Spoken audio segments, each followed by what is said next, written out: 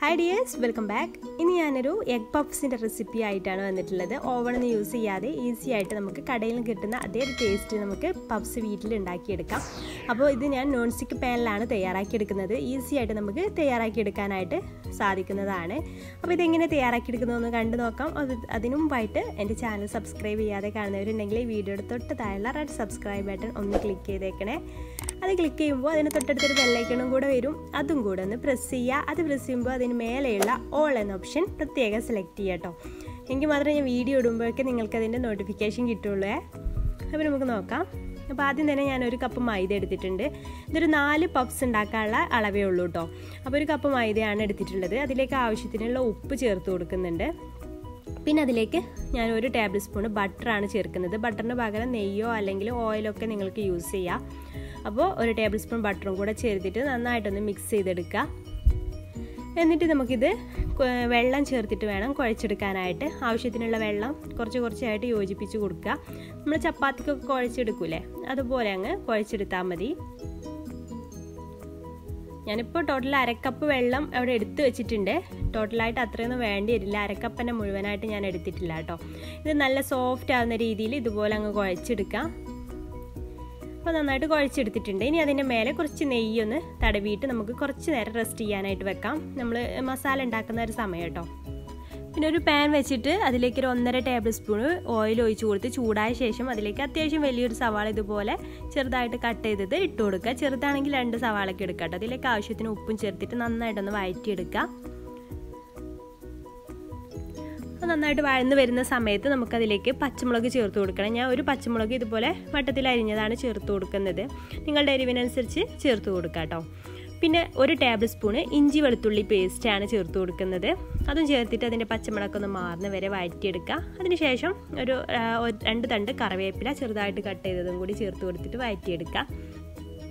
അതെല്ലാം വഴന്ന് വരുമ്പോൾ അതിലേക്ക് മസാലകൾ ചേർത്ത് കൊടുക്കണം. അര ടീസ്പൂണ് മുളക് പൊടിയും കാൽ ടീസ്പൂണ് മഞ്ഞൾപ്പൊടിയും അതുപോലെ തന്നെ ഒരു മുക്കാൽ ടീസ്പൂണ് മല്ലിപ്പൊടിയും ചേർത്ത് കൊടുക്കുക. അതുപോലെ ഒരു കാൽ ടീസ്പൂണ് ഗരം മസാല കൂടെ ചേർത്തിട്ട് നന്നായിട്ടൊന്ന് റോസ്റ്റ് ചെയ്തെടുക്കുക. അതിന്റെ പച്ചമല്ല മണമൊക്കെ പോകുന്നവരെ നന്നായിട്ടൊന്ന് റോസ്റ്റ് ചെയ്തെടുക്കുക.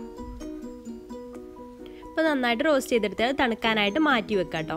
ഇനി നമുക്ക് പഫ്സിനുള്ള ഷീറ്റ് റെഡിയാക്കി എടുക്കണം. അപ്പോൾ ഇത് ഒന്നുകൂടെ നല്ല സോഫ്റ്റ് ആയിട്ട് വന്നിട്ടുണ്ട് കേട്ടോ. ആ ഒരു മസാല ഉണ്ടാക്കുന്ന സമയം മതി. ഇത് നാലെണ്ണത്തിനാണെന്ന് പറഞ്ഞല്ലോ. അതുകൊണ്ട് തന്നെ ഒരു നാല് ബോൾസ് ആക്കിയിട്ട് ഇത് മാറ്റിയെടുക്കുക. ഒരേപോലെയുള്ള ഈക്വൽ ആയിട്ടുള്ള നാല് ബോൾസ് ആക്കിയിട്ട് മാറ്റി വെക്കുക. എന്നിട്ട് ഞാൻ ഈസി ആവാൻ വേണ്ടിയിട്ട് ഇതുപോലെ ഒരു പൂരി പ്രസ്സിലാണ് ഇത് പരത്തിയെടുക്കുന്നത്. നിങ്ങൾക്ക് വേണമെന്നുണ്ടെങ്കിൽ പൊടി തൂവിയിട്ട് അങ്ങനെ പരത്തിയെടുത്താലും മതി. അപ്പോൾ ഞാനിത് പെട്ടെന്നാവാൻ വേണ്ടിയിട്ട് ഇതുപോലെ ഒന്ന് പരത്തിയെടുക്കുന്നുണ്ട്. എന്നിട്ടത് ഒരു എവിടെയെങ്കിലും ഒന്ന് വെക്കുക. എന്നിട്ട് അതിന്റെ മേലെ കുറച്ച് നെയ്യ് ഒന്ന് പുരട്ടി കൊടുക്കുക. നെയ്യോ അല്ലെങ്കിൽ ഓയിലോ എന്തെങ്കിലും ഒന്ന് പുരട്ടി കൊടുക്കുക എല്ലാ ഭാഗത്തേക്കും. എന്നിട്ട് കുറച്ചൊന്ന് മൈദ തൂവി കൊടുക്കുക എന്നിട്ട് അതിന്റെ മേലെ രണ്ടാമത് പരത്തിയിട്ടുള്ള പത്തിരി കൂടെ വെച്ച് കൊടുക്കാം അങ്ങനെ നാലും മേലേക്ക് മേലേക്കായിട്ട് വെക്കുക. ഒരു എട്ടെണ്ണമൊക്കെ ഉണ്ടാക്കണമെന്നുണ്ടെങ്കിൽ രണ്ട് കപ്പ് മൈദ വെച്ചിട്ട് ഇതുപോലെ ചെയ്താൽ മതി. അപ്പോൾ നാലെണ്ണീച്ച നാലെണ്ണീച്ചയാണ് ഇതുപോലെ പരത്തിയെടുക്കേണ്ടത് കേട്ടോ. അപ്പോൾ അതെല്ലാം കൂടെ കൂട്ടിയിട്ട് ഒരുമിച്ച് നമുക്ക് കൗണ്ടർ ടോപ്പ് വൃത്തിയാക്കിയ ശേഷം അവിടെ വെച്ചിട്ടൊന്ന് പരത്തിയെടുക്കാം. അത്യാവശ്യം വലിയൊരു ഷീറ്റായിട്ട് കിട്ടണം. അതിന് വേണ്ടിയിട്ടാണ് കൗണ്ടർ ടോപ്പിൽ എന്നെ വെച്ചിട്ട് പരത്തിയെടുക്കുന്നത്. ഏകദേശം ഒരു ട്രയാങ്കിൾ ഷേപ്പിൽ ട്രയാങ്കിൾ അല്ല റെക്റ്റാങ്കിൾ ഷേപ്പിൽ നമുക്കിത് പരത്തിയെടുക്കണം. ഏകദേശം കേട്ടോ നമ്മൾ പരത്തിയെടുക്കുമ്പോൾ എന്തായാലും കറക്റ്റ് ആ ഒരു ഷേപ്പിൽ കിട്ടില്ല. എന്നാലും ഏകദേശം ആ രീതിയിൽ നമുക്കിത് പരത്തിയെടുക്കാം. ഇത് ഞാൻ പരത്തിയെടുത്തിട്ടുണ്ട്. ഇനി കറക്റ്റ് ഒരു ഷേപ്പ് കിട്ടാൻ വേണ്ടിയിട്ട് നാല് ഭാഗത്തു നിന്നും കുറച്ച് ഞാൻ കട്ട് ചെയ്തിട്ട് മാറ്റുന്നുണ്ട്. ഇനി നമുക്ക് ചെയ്യേണ്ടത് ഇതിന്റെ സെന്റർ കൂടെ ഒരു വര കൊടുക്കുക. അങ്ങനെ രണ്ട് ഭാഗത്തുനിന്നും ചെയ്തിട്ട് ഒരു നാല് പാർട്ടായിട്ട് മാറ്റി വെക്കുക കേട്ടോ ഇപ്പോൾ കണ്ടോ ഇത്രയും കട്ടിയിലാണ് നമുക്ക് ഈ ഒരു ഷീറ്റ് കിട്ടിയിട്ടുള്ളത്. പിന്നെ ഞാനിവിടെ രണ്ട് കോഴിമുട്ട പുഴുങ്ങിയിട്ട് നടുക കീറിയിട്ട് മാറ്റി വെച്ചിട്ടുണ്ട് കേട്ടോ. നാലെണ്ണത്തേക്ക് രണ്ടെണ്ണം മതിയല്ലോ. എന്നിട്ട് ആദ്യം നമുക്ക് ആ ഒരു മസാല ആ ഒരു ഷീറ്റിൽ വെച്ച് കൊടുക്കാം. എന്നിട്ട് അതിന്റെ മേലെയായിട്ട് പുഴുങ്ങിയ മുട്ടയുടെ പകുതിയും ചേർത്ത് കൊടുത്തിട്ട് ഇതുപോലെ അങ്ങ് ഫോൾഡ് ചെയ്ത് കൊടുക്കുക. രണ്ട് സൈഡിൽ നിന്നും ഇങ്ങനെ ഫോൾഡ് ചെയ്തിട്ട് ഒന്ന് ഒട്ടിച്ചു കൊടുക്കുക. എന്നിട്ട് മറ്റേ സൈഡിൽ നിന്നും ഇതുപോലെ ഒട്ടിച്ചു കൊടുക്കുക. അപ്പോൾ നമ്മൾ ഇത് പരത്തിയെടുക്കുന്ന സമയത്ത് പൊടി കൂടി പോയാൽ ഇതുപോലെ ഒട്ടിപ്പിടിക്കില്ല കേട്ടോ അപ്പോൾ സൈഡൊക്കെ ഇങ്ങനെ വിടവൊക്കെ ഉണ്ടെങ്കിൽ ഒന്ന് ഒട്ടിച്ചു കൊടുക്കാം. അപ്പോൾ പൊടി കൂടി പോയിട്ട് ഇങ്ങനെ ഒട്ടുന്നില്ല എന്നുണ്ടെങ്കിൽ കുറച്ച് വെള്ളം ഒന്ന് ആക്കി കൊടുത്താൽ മതി. വെള്ളം അപ്ലൈ ചെയ്താൽ ഒന്ന് ഒട്ടിക്കിട്ടിക്കോളും. ഇതുപോലെ അടുത്തതും ചെയ്യാം. രണ്ട് ഭാഗത്തുനിന്നും ഇതുപോലെ അങ്ങ് മടക്കി കൊടുക്കുക ഇപ്പോൾ കണ്ടില്ലേ കുറച്ച് ഗ്യാപ്പ് വന്നിട്ടില്ല? അവിടെയൊക്കെ ഇതുപോലെ അങ്ങ് ജസ്റ്റ് ഒന്ന് പ്രസ് ചെയ്തിട്ടുണ്ട് ഒട്ടിച്ചു കൊടുത്താൽ മതി. അങ്ങനെയെല്ലാം ഒന്ന് ചെയ്തെടുക്കുക. ഇപ്പം ഞാൻ നാലും അതുപോലെ ചെയ്തെടുത്തിട്ടുണ്ട്. ഇനി നമുക്കിത് ഫ്രൈ ചെയ്തെടുക്കണം. ഞാൻ നോൺ സ്റ്റിക്ക് പാനിൽ ഒരു മൂന്ന് ടേബിൾ സ്പൂൺ ഓയിലാണ് ഒഴിച്ചു കൊടുത്തിട്ടുള്ളത്.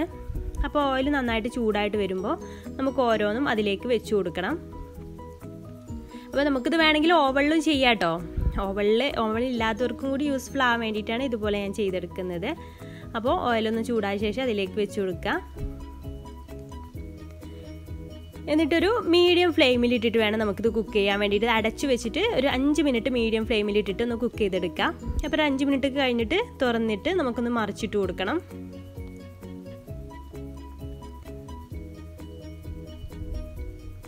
കരിയാതെ ശ്രദ്ധിക്കണം കേട്ടോ. അപ്പോൾ ഇതിപ്പോൾ എല്ലാ ഭാഗത്തേക്കും ഒരേ സമയത്ത് ബ്രൗൺ കളർ ആവില്ല. അപ്പോൾ അങ്ങോട്ടും ഇങ്ങോട്ടൊക്കെ തിരിച്ചു മറിച്ചിട്ടിട്ടൊക്കെ വേണം നമുക്ക് ബ്രൗൺ കളർ ആക്കാൻ എടുക്കാൻ വേണ്ടിയിട്ട്. ഞാൻ തിരിച്ചിട്ടിട്ട് ഒന്നുകൂടെ നമുക്കൊരു അഞ്ച് മിനിറ്റ് ഒന്ന് കുക്ക് ചെയ്തെടുക്കാം. അപ്പോൾ ഒരു അഞ്ച് മിനിറ്റ് കഴിഞ്ഞു. അപ്പോൾ ആ ഒരു സൈഡും ഏകദേശമൊക്കെ ആയിട്ടുണ്ട്. പിന്നെ ഈ സൈഡ് ഭാഗത്തൊക്കെ അതുപോലെ ഗോൾഡൻ കളർ ആവാൻ വേണ്ടിയിട്ട് ഇതുപോലെ തിരിച്ചു മറിച്ചിട്ടിട്ടൊക്കെ ഒന്ന് ഫ്രൈ ചെയ്തെടുക്കണം.